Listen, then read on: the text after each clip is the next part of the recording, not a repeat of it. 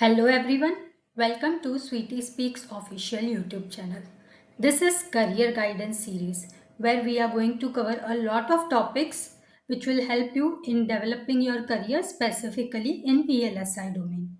We had already covered in detail about roadmap to VLSI careers in the previous episode in this series, career guidance series. In case you missed it, please go through that. Today, I am going to cover about resume building in detail. This is one of the topic which was requested by a lot of people and even when I see a lot of people requesting me to review their resume, I see there are some common mistakes which all of you do. So I thought, why not to make a detailed video on this to explain you what is the right way to make your resume and if you can utilize all these tips it will help you a lot and later on i'm going to start a detailed series specifically for resume building where we are going to cover a lot of topics on resume building along with a lot of examples. But before i start that series i at least wanted to uh, give you this video so that uh, you are not stuck with the resume. So let's get started. We are going to cover a lot of important points in resume building today like do's and don'ts in resume building how you can make your resume crisp and clear which are good professional resume formats how to use right keywords in your resume to improve your chances of getting shortlisted how to describe your experience and projects in a better way in your resume and things that you should avoid in your resume let's get started. First we are going to focus on do's and don'ts. Let's start with do's. One of very important thing in resume building is the length of your resume. I always recommend having a one page professional resume format. i see people who are even in btech are creating resumes which are 3 pages 4 pages i don't know why you are doing that. Because all important information even for people who have 20 years 25 years experience can fit in one page resume if you make it properly. That's what we are going to discuss. So the first point is you should always have one page professional resume format only not a lengthy resume. Then when you are sharing the resume to someone for referral or anything I always advise share a non-editable PDF document. Don't share a Word document. Uh, if you share a Word document, someone can edit it. No. Always share a non-editable PDF document only. The next important point is a lot of people try to use very difficult words in English in their resume very fancy or flashy words, I call them. It's not required. Your resume should be easily understandable. The language which you are using should be easily understandable. No need of using too many fancy words. Not required. And it will not increase the weight for your resume. No. The next important thing is to use appropriate spacing I have seen some people are having very very cluttered resume. Every they have a lot of information and there is no space. It is not at all readable. You have too many words, too many words, and it is definitely not. It doesn't look good, and it is not good to do with spacing. Never create such resumes. You need to use the adequate amount of spacing, not too less, not too much. Of course, we are going to see how to do it when I start a resume building series. We are going to see with a lot of examples, so don't worry. For now, at least keep these things in your mind. Then, what type of fonts and what type of colors you are using also matters. Fonts, some standard fonts fonts are like Times New Roman is some standard font. You should not use fancy fonts while creating your resume. it's not a art competition or something like that. It's a professional thing. So use professional fonts only. And again colors. Never use colors like pink and all those things in your resume. No. You should use colors like black dark blue. These are professional colors. Use such colors only and don't use red. Red is considered something negative. Red pink these colors you should try to avoid using in your resume. These are some do's. I'll quickly revise. First is create one page professional resume only. Second is while sharing share a non editable pdf document only. Don't share anything which is editable. Third is your resume should be in an easily understandable language use appropriate spacing use right fonts and colors. Now, let's see what are some don'ts. First thing is your resume should not be too cluttered. You need to use the right amount of words, not too many words. You can describe the same thing in less words. I'm going to give you some examples on how we do that. So, use uh, less words and try to include all information in less words only. Never make multiple pages resume. You should fit everything, all important information in one page professional resume format only. Then, as I said, your resume should be easily understandable, so you should not use complicated words.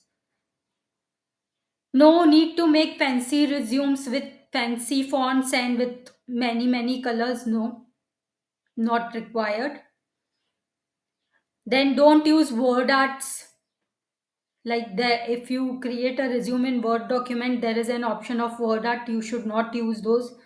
Don't use shiny colors and fonts. That is also something you should not do. To quickly revise what are some don'ts, you should never make long cluttered resume. You should never make multiple pages resume. Don't use complicated words. Don't use a lot of colors and shiny colors, shiny fonts, and never use word arts.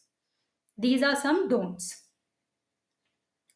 Now, how should you make your resume crisp and clear? First thing is you need to decide what sections you are going to have.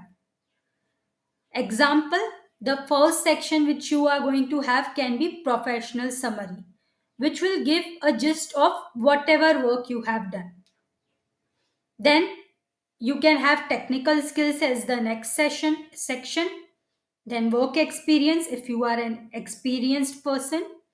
Then educational qualification and certifications related to the job you are applying. If you have done any valuable certifications that you can keep. This is just an example. You can decide what sections you are going to have in your resume Usually, I have professional summary, technical skills, work experience, educational qualification, certification, and definitely the contact information which comes at the top. That is, of course, there. Then you need to decide the sequence of sec- uh, sections. For example, if you are an experienced person, then your educational qualification can come later. You will keep work experience first. And say if you are not an experienced candidate you just have completed btech mtech you don't have any experience then you keep your educational qualification first and instead of work experience you will have the projects so you need to decide the sequence of these sections according to importance then you need to decide what colors you are going to use don't use too many colors, 2 3 is more than enough. So I always recommend to use business colors like black, dark brown you can use if you want you can use dark blue. So use some standard business colors. Then you need to decide what fonts you can use. Like Times New Roman is one font which you can use don't use fancy fonts. I'm repeating it again and again because it's important.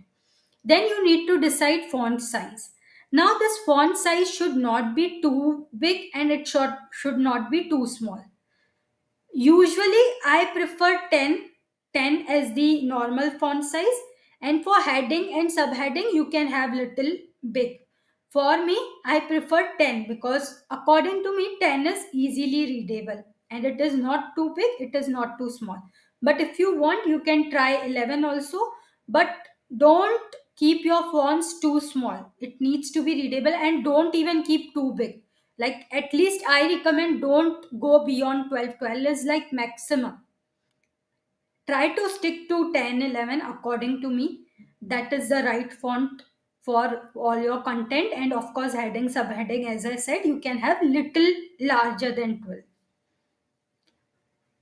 and then you need to start creating your resume with all the relevant information which we discussed you have already decided what sections what is the sequence of sections what colors you are going to use what fonts and what font size. With all this information you can start creating your resume. I usually like to create my own resume format from scratch and i personally like to use microsoft word like because I I know how to make a good resume in Microsoft Word. But if you have any tools which you know are good to make resume, you can use it. But take care of all the points which I said. Then, if required, you can readjust your fonts, line spaces, etc. so that your resume will look good and it will also fit in one page. Let's summarize how you can make your resume crisp and clear. First is you need to decide what sections you are going to have, sequence of sections, colors you are going to use, fonts and font size. Then you need to start creating the resume with all relevant information and if required you can readjust your fonts, line spaces so that your resume looks good as well as it fits in one page. Now, let's see what are good professional resume formats. As I said, standard one page professional resume format is what you should use. And one of the good way to fit all your information in one page is you can divide your entire resume into two sections. That's what I usually do. Like it's a one page and that one page can be divided into two sections and how much uh, percentage you want to give to the left and how much to the right you need to decide usually i give 30% to the left and 70% to the right in the left i keep information like my uh, skill sets those kind of information and where i need more description like my work experience my professional summary my projects that i keep towards the right. And uh, this contact information of course it comes at the top and later on you divide the sections where you can have like your skill sets um, and information where you don't need to describe a lot in detail you just you need to use keywords. So that kind of information you can keep in the left and other information where you need to uh, write descriptions that you can keep in the right. And ratio you need to decide whether 30 um, 30 70 is what you want or you want 40 60 that you see. According to me 30 70 works for me. Then you need to check once your resume is ready you need to check that your resume is ats compliant. There are a lot of online ats compliant tools which you can use. There are a lot of free tools also. So see if your resume is ats compliant.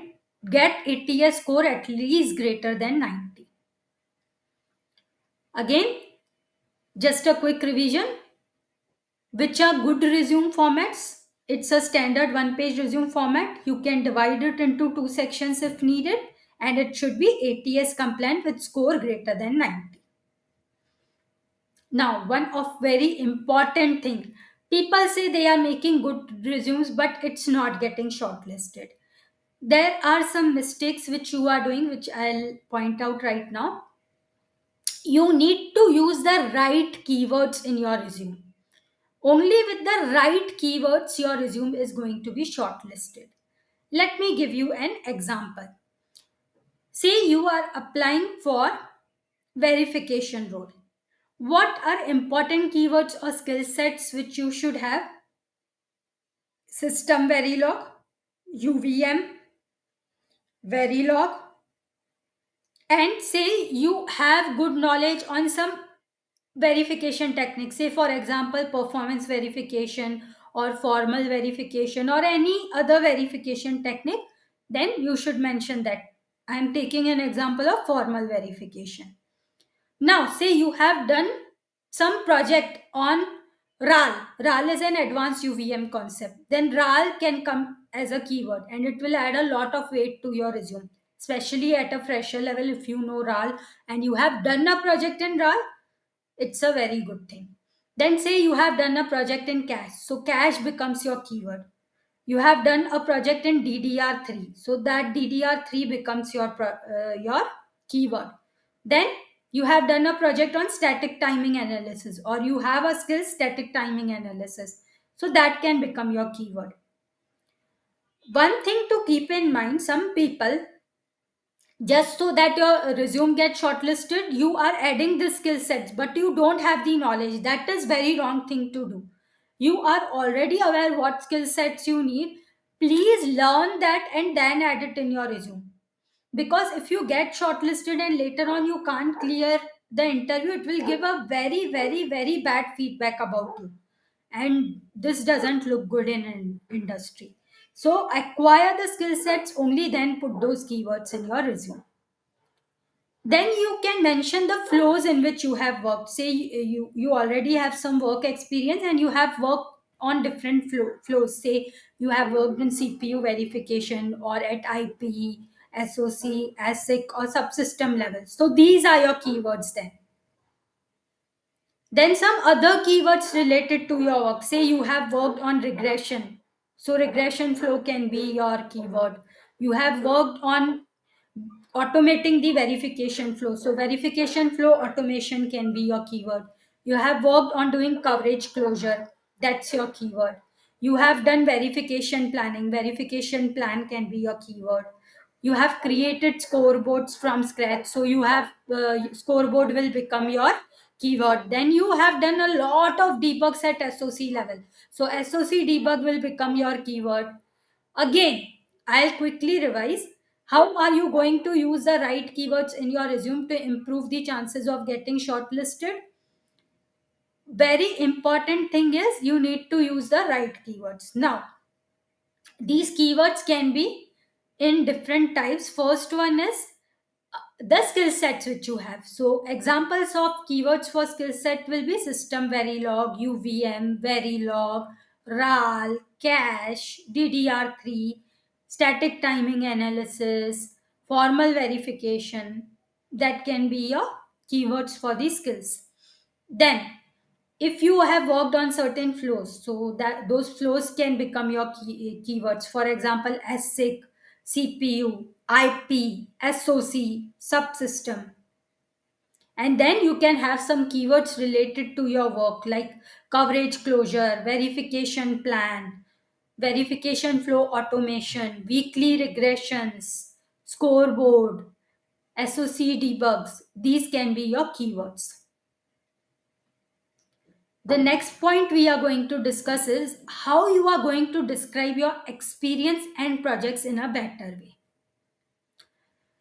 One of very very important thing which all of you should keep in mind never ever share any company confidential information. Never ever put any important numbers or anything related in detail to the architecture which is very confidential to your company and you are not allowed to share that that should never come in your resume you can put gen- generic information but anything which you can't disclose as per the NDA of your organization, you should never, ever, ever put it in your resume. Then the next point is whatever project description you are having, it should be short and it should give a clear gist of what work you have done in your project. You need to also elaborate it with the help of numbers. Say, for example, I have worked on coverage closure for a project and I was able to achieve 99.7% coverage. So I can write, I have worked on coverage uh, closure for SOC server chip project and achieved 99.7% coverage. This is going to give a proper information. Now, say you have worked on protocols. So, you can mention the protocols or VIPs which you have worked on, and you should also mention the correct versions. For example, DDR. What DDR version? DDR3, DDR5. What DDR you have used? Like what version of DDR? So, that detail you can give. And you should never ever uh, write too many long description of the project no you can describe everything which you have done in simple language using minimum number of words like i gave you an example achieve coverage closure for soc server chips with 99.7%. Just a short sentence which is giving me a lot of information. It is giving me that I worked on coverage closure. I worked for SOC server projects. It means at SOC level and I achieved 99.7% coverage. Just a one short sentence is giving me so much information. So you should create such sentences which are short but very valuable. Each and every sentence which you are giving should give a lot of information. We will quickly summarize how you are going to describe your experience and projects in a better way. First thing is never share any company confidential information. You should use short and clear description of your project. Wherever applicable, you can use numbers to describe your work. Then, if you have worked on protocols or VIPs, you should mention the version on which you have worked and never ever write too long description try to write short sentences but each and every sentence should carry a lot of value and have a lot of right keywords next we are going to see what are the things you should avoid putting in your resume First thing which I saw in many people's resume is complete home address. You should never ever mention complete home address. No one is going to come to your home. No. Just the location is enough. For example, if you are located in Bangalore, India, just Bangalore is enough. Your location should only be Bangalore, not the complete home address. Not required. Then personal details like marital status, passport number, etc. are not required unless passport number can be required when you are applying for some on-site job roles. At that time, maybe you should you can mention passport number if it's required. But if you are applying in a country where you are already residing and where you are a citizen, passport number is not required. Marital status is not required. These details are not required next thing language is known like you know any local language that is not required unless you are applying to a country say germany and there knowing a german language is an advantage. Or you are applying to some state say where they require that language for that particular job only then you should mention. Otherwise english is enough. Everyone communicates in english only in corporate world. In case there is a need uh, where this language is going to add value only then you are going to add it. Then declaration i hereby declare the information is correct and all that. It's wasting two three lines in your resume. And of course whatever you have mentioned in your resume you have to mention it correctly. That's what everyone believes. So don't waste two three lines there. And hobbies. What will i do with your hobbies? You are good at dancing. You are good at football. Okay fine but if that hobby is not at all related to the work then it is of no use to me. So if your hobby is adding any value to the profession then put it. But if your hobby is nowhere related to the profession where you are applying it's of no use. Quickly summarizing the things you should avoid in your resume. Complete home address not required, personal details like marital status, passport number not required unless you are applying in a country where passport number might add value. Languages known not required. Unless you are applying to a place, say, a country like Germany where German language adds value uh, or you are applying to some state where you knowing a state language adds some value only then you can mention it. Otherwise no use.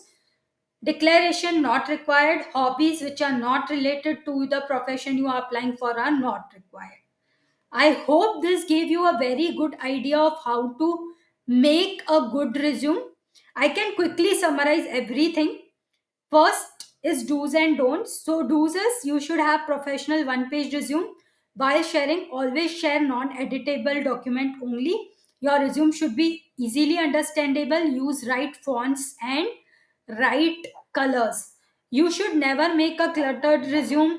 It should not be multiple pages. Don't use complicated, fancy words. Don't use word arts and fancy colors and to create a crisp resume, you should first decide what are the different sections you are going to have. For example, contact details, of course, it should always come at the top. And then you can have professional summary, technical skills, work experience, educational qualification, certification. And then you need to d- decide the sequence of those sections, decide what colors and fonts you are going to use, what should be the font size, then start creating your resume and readjust this font and line spaces so that your resume looks good and it also fits in one page. Now what are good professional resume formats?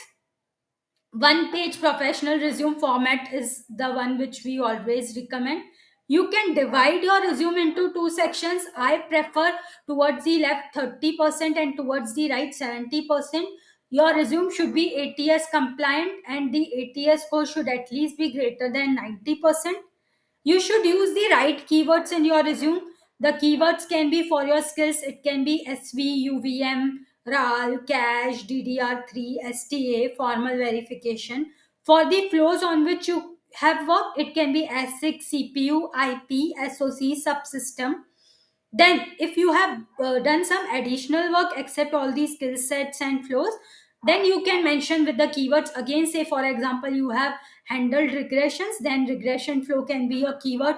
You have uh, automated verification flow, so verification flow automation. You have done coverage closure, then coverage closure, verification plan, SOC debug, scoreboarding, all these can be your keywords. Then, how are you going to describe your experience and projects in a good way? First thing, never ever share any company confidential information. Whatever you are writing should be short, crisp, and clear, and it should give a good, good gist of your project. Wherever applicable, try to put numbers. For example, achieve coverage, coverage closure uh, 99.7%. So these are numbers improve performance by 20%. These are numbers. And if you have worked on any protocols or VIPs, you can mention those versions. Always write short sh- sentences which carry a lot of valuable information. Never write too long sentences.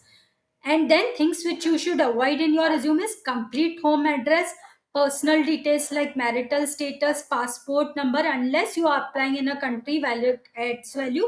Same for the languages zone, unless it is adding any value, don't use it. Declaration, no need to keep, and hobbies, if they are not relevant to your professional profession, it's of no use adding to the resume. Keep all these points in mind. And i think with that you can create a very good resume. Still we are going to come up with a detailed series which is dedicated to resume building where all these things i'm going to show with example until then please refer this details and please try to create a good resume all the best i hope if you use all these suggestions your resume will have very good chances of getting shortlisted Best luck and see you soon in more such videos. Please subscribe to Switi Speaks official YouTube channel. Thank you.